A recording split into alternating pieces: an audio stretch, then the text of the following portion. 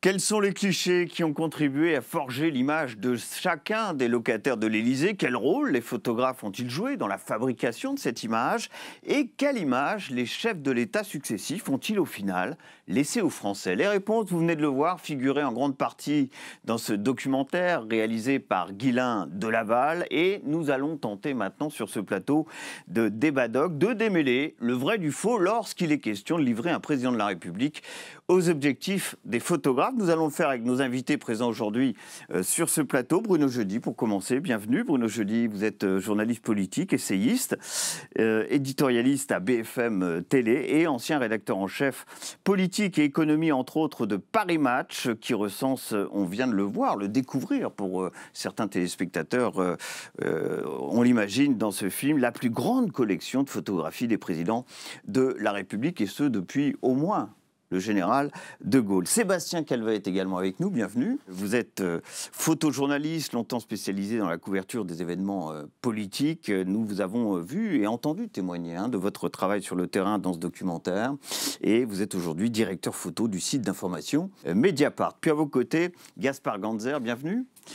Vous êtes euh, ancien conseiller en communication de François Hollande à l'Élysée, avec une nomination qui est intervenue en avril 2014. Euh, Aujourd'hui, vous êtes enseignant à Sciences Po et HEC Paris et auteur tout récemment hein, de ce livre, C'est tout chaud. Êtes-vous encore de gauche? C'est une question que vous posez et c'est publié chez euh, Flammarion. C'est Adolphe Thiers Bruno Jeudi, c'est pas dit d'ailleurs dans ce documentaire, qui a inauguré le genre de la photo officielle des présidents de la République. 1861. Il y a déjà un On est bien sûr au tout début de la troisième. Il y a déjà un livre sur cette photo.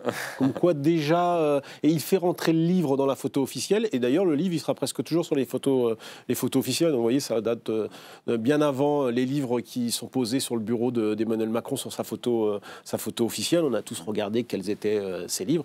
Donc il y a j'allais dire, il y a à la fois des indispensables, des classiques dans les photos des, des, portraits officiels des présidents de la République. rappelle que ce portrait, il doit figurer hein, dans les mairies. Parce que c'est la tradition dans les 36 000, 36 000 communes de France, mairies de France. Beaucoup d'établissements euh, publics euh, mmh. également. Et ces photos, surtout avec la Ve République, elles changent un peu de, de registre parce que euh, après le, le, général de Gaulle et Georges Pompidou, Valéry Giscard d'Estaing, il s'en sert comme un, vraiment un instrument de communication, communication politique. La modernité, il essaie d'imprimer, de, réveiller cette cinquième après les deux, les septennats de, des fondateurs au fond de la, de la cinquième. Et Giscard essaie d'imprimer quelque chose de nouveau. Et derrière lui, chacun va essayer d'apporter euh, euh, la nouveauté. Euh, Jacques Chirac ouvre vers le, parc, hein, c'est la photo avec le palais derrière lui. Il est sorti du palais, hein, c'est le président hors du palais. Nicolas Sarkozy, bah, c'est les drapeaux. Autrement dit, le symbole de cette fameuse photo, il est important, il marque le début d'un quinquennat, d'un septennat. Il dit euh, quelque chose quand même, même, même, si parfois on l'a vu dans le documentaire, il y a des photos, bon, celle de Nicolas Sarkozy, on voit bien qu'elle mmh, mmh. a été un peu euh, réfléchie au dernier moment, que le photographe a peut-être pas eu vraiment la main sur la photo, alors que François Hollande, elle est vraiment très, très réfléchie cette photo, elle a été critiquée, mais il y a, une réflexion, euh, et parlons pas de, la dernière, où là, on a essayé de mmh. mêler un peu, on a essayé de mélanger du symbole, de Effectivement, c'est un peu un mixte. Du retour dans on parle évidemment de la photo officielle de, Macron, du, retour Macron. Dans, du retour dans le palais après que, que François Hollande euh, a choisi, lui, euh, d'en sortir. Donc voilà, ça dit beaucoup de choses quand même. C'est intéressant euh, d'analyser dans le détail. Et les Français, ils ne sont pas insensibles à ce portrait qu'ils voient tous dans leur mairie. Sébastien Calvet, j'ai quelques noms évidemment qui ont été cités hein, dans le film. Euh, François Pagès, ça c'est pour la photo officielle Pompidou. Jacques-Henri Lartigue euh, pour Valéry Giscard d'Estaing. Euh, Ghislaine Freund pour François Mitterrand. Bettina Reims pour Jacques Chirac. C'est un choix particulièrement étonnant. Hein. C'est plutôt une photographe alternative, on va dire les choses comme ça. Sarkozy, Philippe Varin, François Hollande, Raymond de pardon. Et puis, on y reviendra d'ailleurs, c'est Soisig de la Moissonnière qui a fait la photo d'Emmanuel Macron pour ce qui était du, du premier euh, quinquennat, bien entendu. Qu'est-ce qui vous inspire ces noms? Est-ce que là, euh, c'est quoi votre réflexion quand je vous cite ces noms? Euh, bah, Moi, je pense que hum, là, on est dans de la photo artistique, on n'est pas dans de la photo journalistique. On est, aussi dans du message politique, c'est-à-dire qu'on on, les, présidents de la, République qui ont, qui ont fait appel à ces photographes pour leurs photos officielles ont fait appel à des, des, noms aussi qui, mmh. sont, qui importent autant que l'image qui va être faite. Quand Mitterrand choisit Gisèle Freund, c'est la photographe portraitiste des artistes, euh, des, des, écrivains, et donc il se met dans une lignée comme ça, dans une tradition de portraits de grands écrivains, il se met dans cette lignée-là. Euh, euh, quand François Hollande choisit Raymond Depardon, il va chercher le grand photographe documentariste, le plus grand en activité à ce moment-là en 2012 et encore aujourd'hui, et tout le travail sur la ruralité, sur, la France et sur une certaine identité française. Donc je pense que le, le nom du photographe importe presque autant que l'image. Et Raymond Depardon m'a dit un jour, c'est la plus belle, plus grande exposition qu'on puisse avoir, parce qu'effectivement, ces 36 000, euh, euh, exemplaires, euh, c'est la plus grande exposition qu'un photographe peut avoir. il y a quand même un monde entre Philippe Varin, qui photographiait la Star Academy, et Raymond Depardon. C'était que celui-là qui a même le Philippe Varin, il, dit quelque chose aussi sur l'époque, et sur le moment, et sur un peu la manière dont Nicolas Sarkozy a voulu contrôler toute cette photographie, et donc choisir un photographe qui, finalement, n'a pas eu énormément de latitude euh, et, vous, diriez, vous diriez jusqu'à dire qu'on est sur euh, euh, un photographe bling-bling pour un président qui a eu un quinquennat marqué par le bling-bling Je vais être un peu dire, c'est presque un non-choix. Il, a choisi la facilité et, quelqu'un dont il savait qu'il allait pouvoir lui dire on va faire les choses comme ça, comme ça, et que ça. Philippe Varin le dit lui-même dans le documentaire. Il dit Je sais qu'avec Nicolas Sarkozy, il faut travailler vite. Hmm. Ben voilà, il a travaillé vite. Alors, Gaspard Ganzer, le regard du communicant, hein, sur ces photos des présidents de la cinquième, laquelle est la plus réussie, la plus symboliquement réussie de ce qu'a été finalement euh, soit le septennat, soit le quinquennat, ou les doubles septennats, c'est le cas pour euh, Mitterrand? Euh, non, mais je pense que la, celle qui a introduit la plus grande rupture, c'est celle de Giscard d'Estaing. De toute façon, en termes de communication politique, euh, euh, c'est clairement Giscard d'Estaing qui a été le plus innovateur, on dirait disruptif, si on voulait parler à la mode publicitaire du 21e siècle. ralentissement du rythme de la Marseillaise, remonter les Champs-Élysées à pied, et puis cette photo qui est très travaillée d'un point de vue iconographique et qui exprime exactement ce qu'il veut exprimer, c'est-à-dire une rupture avec ses deux prédécesseurs. Euh, tous les autres se sont un peu placés en, réaction euh, par rapport à celle-ci, chacun tentant d'imprimer quelque chose par rapport à son prédécesseur euh, immédiat. D'ailleurs, c'est assez intéressant l'alternance, qui est comme une alternance intérieure-extérieure qui se, met en place sous la Ve République. Mitterrand-Chirac, Chirac-Sarkozy, Sarkozy, Sarkozy, Hollande, Hollande, Hollande, Macron, qui veut dire quelque chose. Après, peut-être que je trouve finalement que toutes ces photos sont un chouïa trop travaillées. C'est vraiment trop des photos de, communication politique, trop interprétables, où tout fait trop sens. Et je crois que la, communication politique a changé au cours des dernières années à mesure que, comme la publicité, elle est décryptée par les citoyens. Et donc, euh, ce, que, dont les, citoyens ont envie, c'est de naturel, presque de, décontraction, mais pas de, fausses décontractions, et pas de trucs surchargés euh, euh, en termes d'image, voire même inspirés de séries télé. Celle-ci, c'est vraiment la Netflixisation de la, de, la, photographie officielle. Ça va un peu trop loin. Je suis sûr que le successeur ou la successeur d'Emmanuel Macron aura une photo beaucoup plus libre, qui, à mon avis, ressemblera plus à une photo volée qu'à autre chose. Sébastien Calvet, si on vous la propose, cette photo officielle en, 2027, euh, vous dites banco, j'y vais, ou vous dites non, c'est pas, c'est pas du tout mon métier? C'est un sacré. on est bien embêté, je crois, quand, ça arrive, parce que c'est, on peut pas refuser. Euh, je crois que c'est très difficile, et en même temps, c'est un sacré défi pour justement tirer son épingle du jeu et mettre en place un dispositif où le photographe aussi amène ce qu'il a, ce qu'il a à dire en images. Et euh, euh, vous disiez, c'est, aujourd'hui, c'est des images de beaucoup de communication. J'ai envie de dire à qui la faute, parce que ah aujourd'hui, le, dispositif, de, le dispositif de, pour faire ce genre de photographie, il y a énormément de monde entre le photographe et le président. Euh, celle de Jacques-Henri Lartigue, il faut regarder le making-of. Il y a des images qui existent de, de signé Hugues Vassal à l'époque, et, et Jacques-Henri Lartigue est seul avec Valérie Giscard d'Estaing. Et c'est la femme de Jacques-Henri Lartigue qui joue l'assistante et, euh, qui, fait par soleil avec son sac. C'est un moment extraordinaire. C'est une autre époque aussi. Voilà, c'est une autre époque, mais ça, ça, prouve aussi que le dispositif en photographie il est très important. Et plus on met d'éléments entre le photographe et le modèle, et plus on va avoir de, de, capacité de, de, euh, de, problèmes, d'éléments euh, discordants. J'étais pas là. si le, modèle, comme vous dites, est le président de la République. J'étais pas là pour la photo de François Hollande parce que je n'étais pas encore arrivé, mais j'en ai souvent reparlé avec lui, je crois que Depardon a une très très grande marge de manœuvre hein, dans l'élaboration de, cette photo, parce qu'il il a, il est à cette époque-là déjà assez âgé, expérimenté. C'est pas quelqu'un qui se laisse euh, gouverner. Il y a plein de choses sur lesquelles il a, il a imposé son cadre. Le format, je crois qu'elle est carrée, la photo. Euh, elle, elle fait penser à la photographie populaire, presque de vacances. Et voilà. François Hollande est en mouvement. Oui, il, marche, il, marche, il est dirigé. Et François Hollande était, je suis bien c'est pour savoir, son premier communicant, pour le meilleur et pour le pire. Et, euh, et c'est clairement quelque chose qu'il a géré en, directement, en direct avec lui. On va voir un extrait du documentaire pour euh, en arriver peut-être au, cœur hein, de l'échange qu'on a ensemble. C'était aussi d'ailleurs en grande partie le cœur de ce documentaire, la pipolisation. Voilà un petit peu ce qu'a été l'évolution de cette pipolisation des présidents de la République en photo.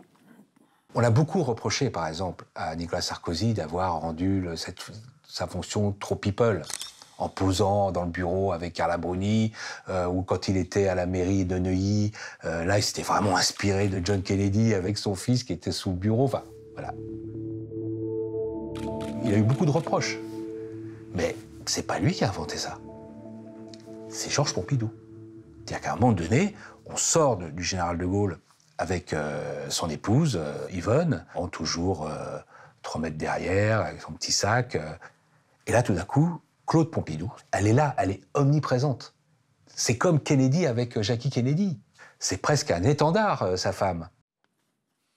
La pipolisation, alors évidemment, la pipolisation, euh, elle a d'abord été mise en œuvre euh, de l'autre côté de l'Atlantique, hein, aux États-Unis, hein, qui sont très forts pour ça. C'est le fameux euh, storytelling aussi. Il faut raconter une histoire de son quinquennat, de son septennat, voire de sa campagne électorale, parce qu'on voit aussi dans ce documentaire, pas uniquement des photos de présidents, hein, mais des, photos de candidats. donc il faut peut-être scinder un petit peu les choses. La pipolisation, c'est là qu'il faut démêler le, vrai du faux, et la pipolisation telle qu'on la voit, ou telle qu'on l'a vue notamment souvent dans Paris Match, avec Pompidou, euh, on a vu tout ça dans cet extrait, c'est de la mise en scène, ni plus ni moins. il y a souvent une part, et très souvent même une part de, mise en scène, il y a une réflexion.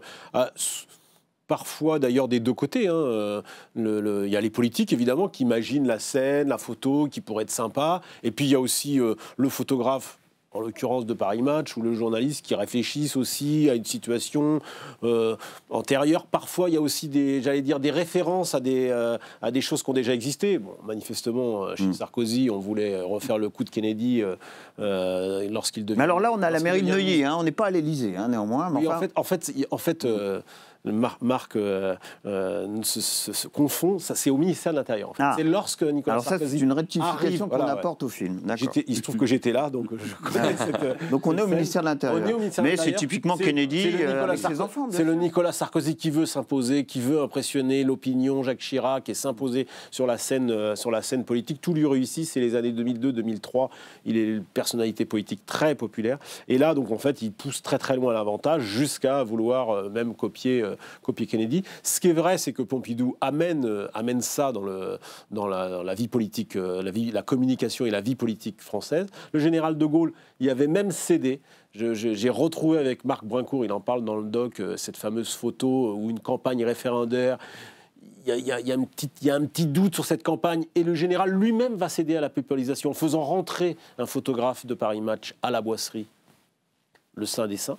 Et là, il y a une photo qui existe, hein, qui sera publiée par Paris Match, donc comme quoi ça remonte euh, très très loin, et ça n'a cessé en fait de s'adapter aussi à l'époque, à euh, aux aspirations aussi euh, des Français qui veulent voir un peu, qui veulent en savoir un peu plus sur les hommes politiques. Alors après, le vrai du faux, c'est vrai, la part de, de, de j'allais dire, de spontanéité. Les hommes politiques euh, euh, sont, sincères dans leur communication. C'est comme le panier de basket de Lionel Jospin dans son bureau. Euh, en fait, c'est un, un, jeu avec Claude Allègre. Et là, il y a une photo qui est faite qui est vraiment spontanée.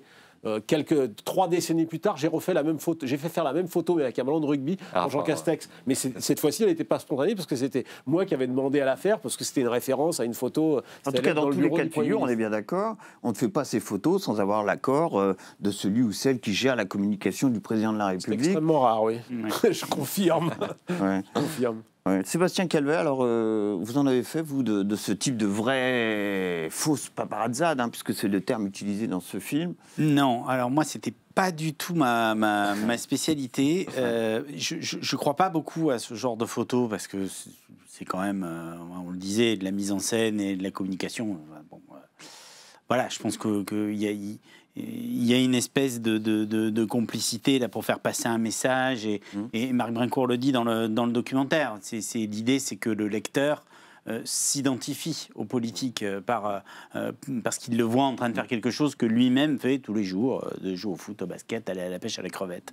que les femmes s'identifient à la compagne des présidents de la République, parce que nous n'avons pas eu encore une, présidente de, la République à, ce stade. Ouais. C'est très bien démontré aussi. Ouais, ouais. Et moi, moi, je me suis toujours attaché à montrer le politique au travail. Alors, le travail, c'est ou la campagne, ou euh, le, au pouvoir, ou euh, essayer de.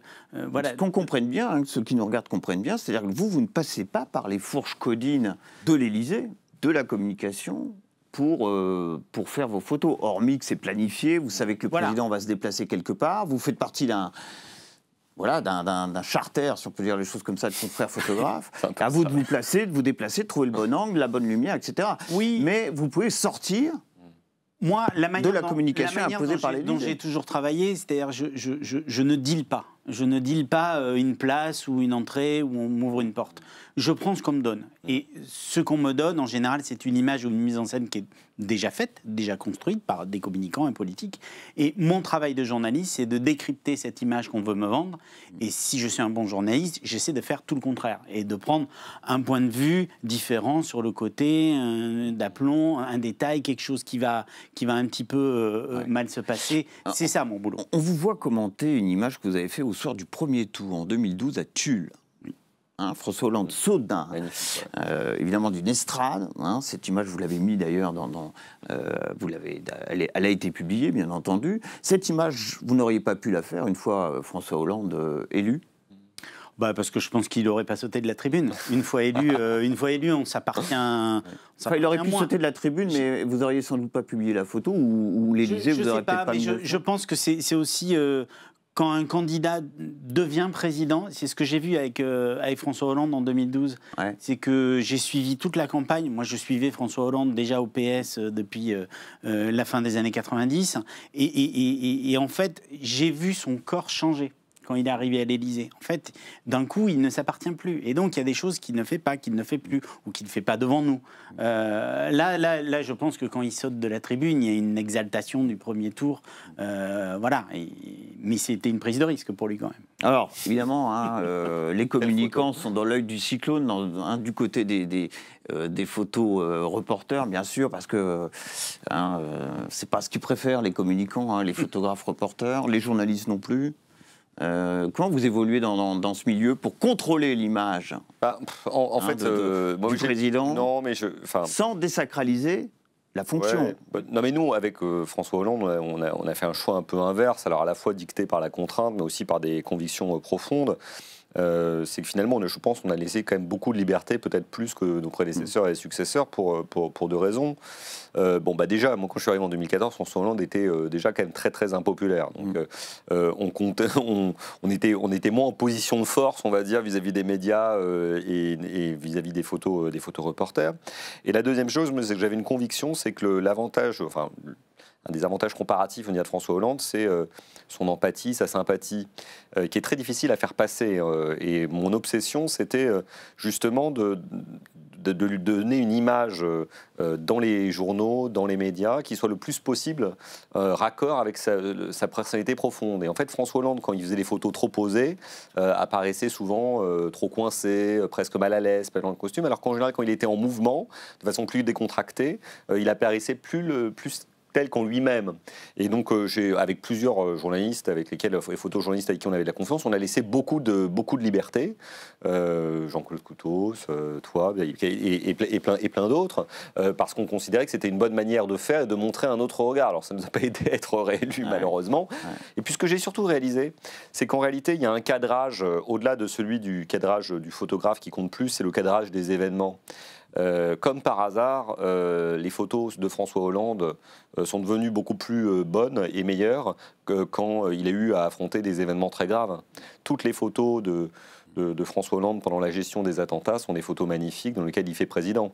Euh, les photos dans lesquelles il doit gérer des remaniements ministériels confèrent, euh, et des crises politiques confèrent l'île de Saint où il est couvert de, flotte, euh, eh bien, sont très mauvaises. Et c'est intéressant de voir que l'île de Saint, c'est une photo dont il est couvert d'eau en fin août 2014, en pleine crise politique. Elle se situe simplement trois mois et demi, ou quatre mois, pardon, avant la plus belle photo du quinquennat pour moi, qui est la photo de François Hollande au milieu de tous les chefs d'État et de gouvernement euh, de janvier 2015. Mmh. Photo exceptionnelle. Les marches de la République, la marche bien entendu. Voilà, euh, en hommage à Charlie Hebdo, à l'hypercachet, aux policiers. Donc ça relativise. Il euh, n'y a pas forcément de bon modèle ou bonne façon de cadrer les, les photographes, ou il ne faut pas chercher à le faire, il faut les laisser travailler, parce que les circonstances, en fait, président au cadrage et à la réception. Et sachant que, pour la photo à laquelle vous faites référence, ce sont des photographes du monde entier, bien entendu. Hein, bien sûr. Qui, ont fait cette fameuse photo bien sûr. des marches de la République. Oui, il y avait des, il y avait des, nous, notre, tout notre travail, c'était de disposer des, des, journalistes qui étaient plusieurs centaines face à cette ligne. Et en fait, bon, de toute façon, il n'y avait pas de mauvaise photo à faire hein, quand il a des, des journalistes pareils. Deuxième extrait du documentaire. Euh, cette fois, c'est la pipolisation, mais c'est finalement c'est les hommes politiques dans les magazines euh, People, et évidemment c'est l'affaire François Hollande en 2014.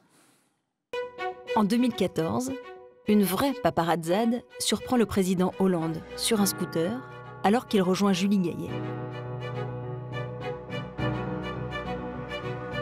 Avec cette une, Closer double ses ventes et c'est une déflagration pour l'image du président.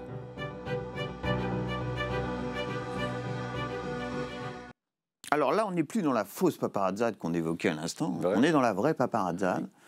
Et là, Bruno Jeudi, vous allez peut-être nous le confirmer, ça a fait un vrai débat, hein, cette une de Closer, ces photos hein, volées. Hein, euh, dans les rédactions et dans les services politiques, parce qu'on euh, ne savait pas très bien où on en était là, avec ces photos de président volés.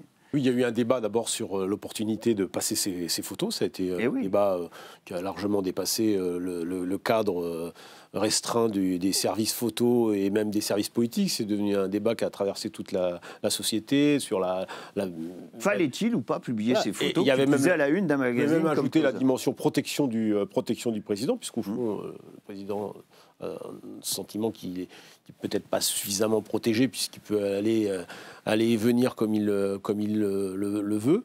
Oui, fallait-il? C'est une question qui a beaucoup euh, hanté les, les, journalistes, les rédactions. Je, crois que de toute façon, le débat paraît même aujourd'hui un peu dépassé parce que de toute façon, elle serait, elle serait sortie, ces photos. Bien sûr. Elle serait sortie, ces photos. C'était inévitable. On peut même dire que c'est une, c'est une info politique à cette mm. époque-là de premier ordre.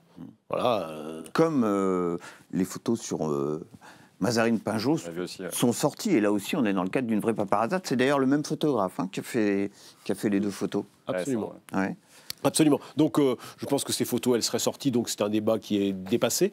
Euh, c'est vrai qu'à l'époque, il y a eu. Est-ce que les autres, les autres, les autres responsables de rédaction ont été interrogés pour savoir s'ils auraient euh, passé, passé la photo Il y a eu débat à l'époque. Je pense qu'aujourd'hui, il y en aurait, en aurait plus. Je, je pense même qu'entre ce moment-là et aujourd'hui, il y a les réseaux sociaux qui ont pris un essor considérable. Mmh. Et ça, ça a beaucoup changé le rapport aussi à la photo. C'est-à-dire qu'aujourd'hui, les réseaux, les, les, les, réseaux sociaux passent au-dessus des, des journaux matière de photos, vous avez tout beaucoup plus vite sur les réseaux sociaux. Très souvent, c'est très difficile d'avoir, euh, j'allais dire, un scoop photo aujourd'hui dans un, dans un magazine. C'est quasiment euh, impossible. Je passe sous le contrôle de, Sébastien. Je, crois qu'aujourd'hui, on a changé, on a aussi changé d'époque. Donc c'est pour ça que ce débat-là est dépassé. Euh, non, c'est toujours l'éternel débat vie, vie, privée, vie publique, par contre, qui, qui se pose. Après, là, dans les rédactions, il y a toujours en France eu un peu cette, cette limite. Mais là, elle a été brisée euh, et avalé par, euh, par cette affaire. Là, on assiste à une vraie rupture tout de même. Euh, le photographe en question, c'est Sébastien Valliera, oui, oui. Hein, qui fait par ailleurs partie de l'agence Best, Image, hein, qui, qui, qui aujourd'hui a un contrat avec l'Élysée pour hmm. concernant l'actuel hein, chef de l'État. Hmm. Emmanuel Macron. Non, mais l'accélération, elle est réelle depuis en fait, moi, j'ai couvert des, campagnes présidentielles pour Libération, euh, euh, que ce soit 2002, 2007, 2012. et en fait, à chaque, élection présidentielle, on voit une accélération. Euh, en 2002, quand on couvre Jospin, on travaille pour le journal Le 13h, le journal Le 20h et moi le journal du lendemain. Donc, bouge pas. Euh, en 2007, c'est l'arrivée des chaînes info en France. Et là, on commence à travailler heure par heure. Et Ségolène Royal, à l'époque, moi que je suivais, a fait des meetings toutes les heures. Elle s'arrêtait, elle faisait un discours euh, à chaque coin de rue. Euh, en 2012, c'est l'arrivée des réseaux sociaux euh, euh, très très fort. Et là, on est dépassé. Ce que vous disiez juste, c'est-à-dire que même aujourd'hui, vis-à-vis des équipes des, politiques, le photographe professionnel est beaucoup moins intéressant que quelqu'un qui a je ne sais combien de followers sur Instagram ou Twitter et qui va faire une photo qui va l'envoyer tout de suite on, a du mal aujourd'hui à discuter et à dire euh, mais oui, mais moi je suis un photographe avec un point de vue, un regard euh, euh, du métier et laisse-moi rentrer là pour faire la photo. Aujourd'hui, on est face à des équipes qui disent oui, mais à la limite, je m'en fiche. Ce qui m'importe, c'est que tu sois sur tel compte, tel compte et que, et que ça aille très vite en fait. Donc là, il y a quelque chose qui se passe où, effectivement, comme vous le disiez, c'est, on, est dépassé. Ben, le, photographe est dépassé, un peu, un peu démonétisé. Parce que tout le monde peut prendre une photo du chef de l'État lorsqu'il déambule dans une ville, euh, dans une usine euh, ou autre.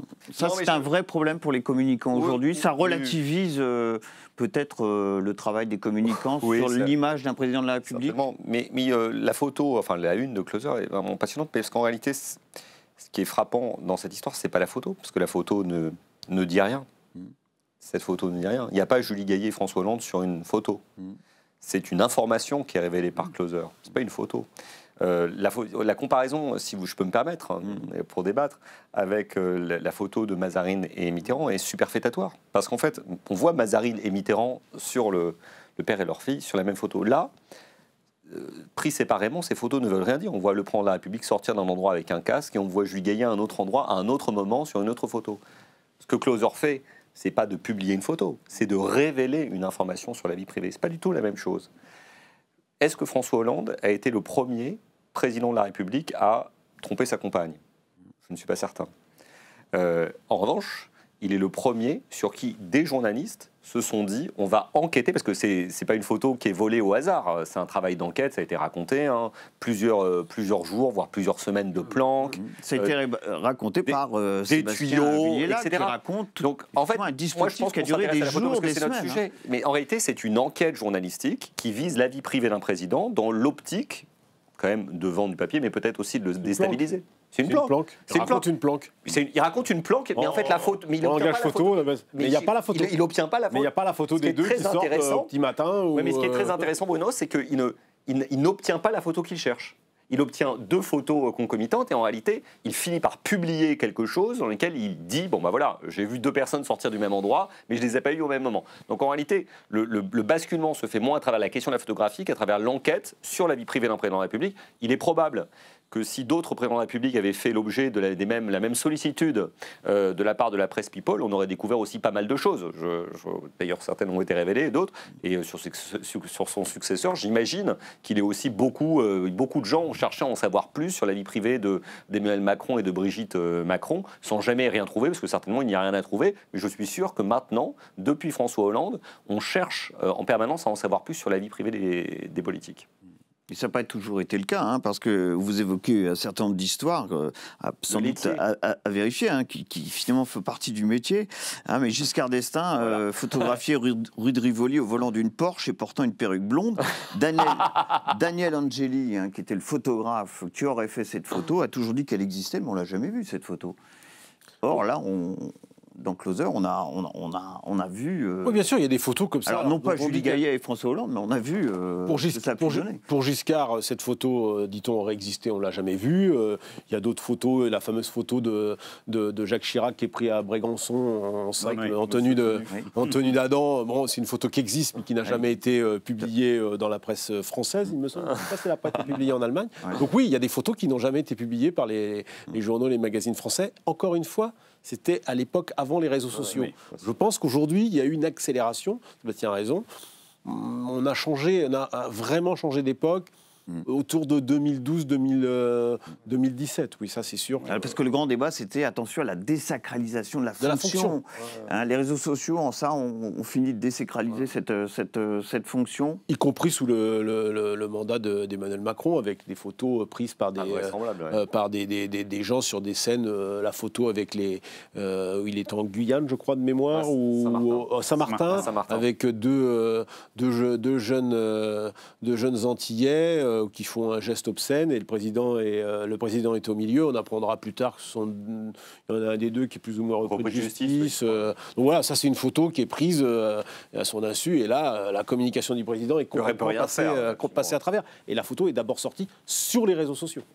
Emmanuel Macron aura été le président de la République le plus pris en photo. En 2018, on comptait déjà 32 000 clichés d'Emmanuel Macron 2018. Hein, ça fait déjà maintenant 4 ans. Merci, un grand merci hein, à tous les trois hein, d'avoir participé à, ce débat doc aujourd'hui après ce, euh, ce, documentaire consacré aux photographies euh, des présidents de la République. Vos réactions, ça sera bien sûr sur hashtag débadoc sur euh, Twitter. Merci aussi à Selma Sali qui, comme à l'accoutumée, m'a aidé à préparer cette émission. Puis je vous donne tout simplement rendez-vous pour un prochain débat doc et ça sera bien sûr avec son documentaire et son débat. À très bientôt.